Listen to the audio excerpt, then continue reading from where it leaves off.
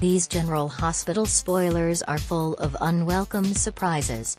Curtis lashes out at Stella, Jordan asks Molly about their next move, Martin meets with Valentine, Austin goes job hunting, Liz tries to help Finn, Shawn stands up to a prison guard, Carly leaves. It up to Jason, and Maxie looks like she's seen a ghost.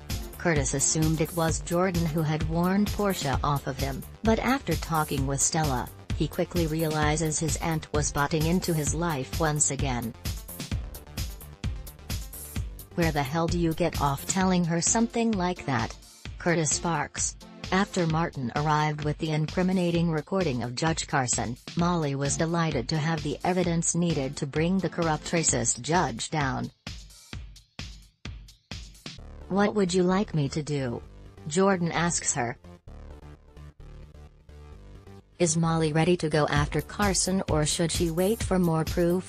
Martin has a meeting with Valentine and it becomes very clear why the Cassadine has a bright smile on his face for a change. You're talking about Anna Devane, Martin grins. But can Valentine convince Anna to give him a shot? Will Britt give Austin a job? ABC Britt is still chief of staff, for the time being, so she's the one that Austin comes to when he hopes to find work at the hospital. I'm hoping that doesn't preclude me getting a job, the doc smiles.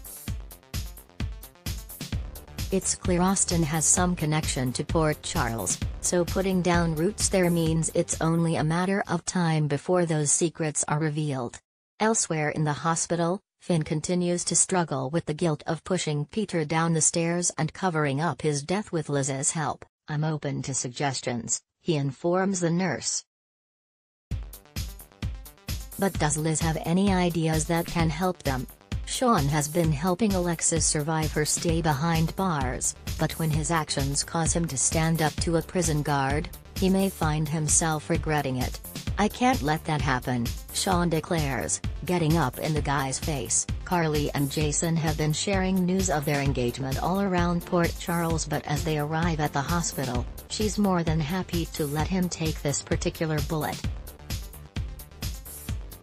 I'm going to let you break the happy news, she teases, playfully poking him in the shoulder. Unfortunately, Jason doesn't seem to see the humor in any of this. Maxie has really been struggling to hold it together after giving up her baby girl to Brook Lynn to protect her from Peter. And her fragile house of cards continues to threaten to collapse around her and expose the baby swap, especially when she has an unexpected run-in with a familiar face. What are you doing in Port Charles? She gasps. Check out this tease for today's all-new episode of GH. Love GH? Be sure to join our We Love General Hospital Facebook group to chat about all the latest storylines and juicy gossip. Ad block test, why?